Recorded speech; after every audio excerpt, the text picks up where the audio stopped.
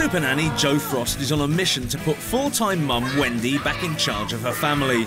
You're not coming out the door! Do what you like, Mary Ann, because I think you're an absolute arsehole. Over the next four days, Supernanny will help Wendy get her family back on track. Hello. The first thing she wants to focus on is the lack of discipline in the house. And this is going to be your reflection area.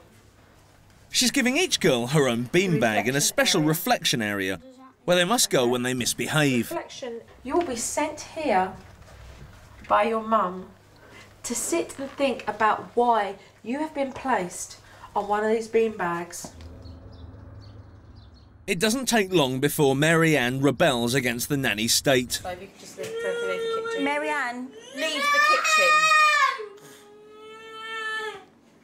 Which is to come down to her level, give her eye contact, use a low toned voice without shouting, and say, Right. I'd like you to please leave the kitchen. Marianne. Ann, Voice, low, Mary Ann. firm. I would like you to leave the kitchen. When? No, you won't even let me. Step back. She now has to make a decision. She's either going to leave the kitchen or she's not.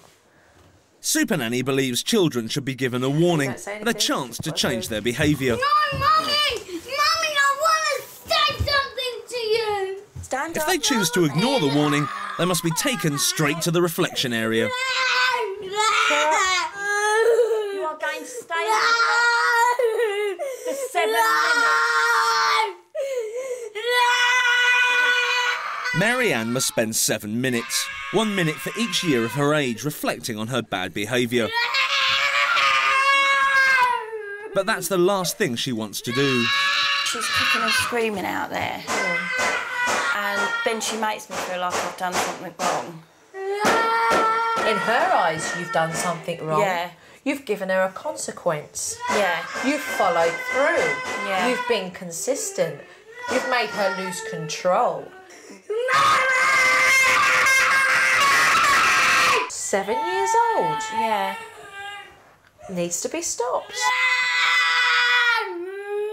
After seven minutes, Mum must go back and get a sincere apology before Marianne can be let out of the reflection area. I want an apology.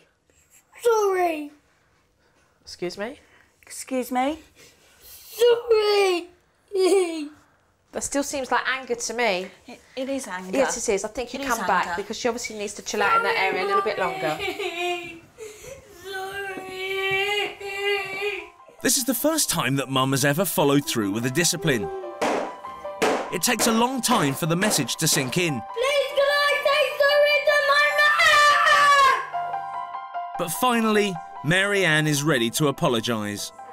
Has she calmed down? Ask her. Have you calmed down? Have down? you calmed down, Mary Ann? Yes. Okay. Right, okay. Well, I would lo- I want an apology for not doing as you were told. Sorry. Pardon? Sorry. Right, okay. Kiss. Cuddle. Have a kiss and cuddle. As much as Mum felt really frightened of the behaviour of Marianne, she felt liberated at the fact that she'd been able to follow through with the reflection area. I feel like I'm getting there because I actually followed through on something. So I feel like it's one to me and none to Mary Ann.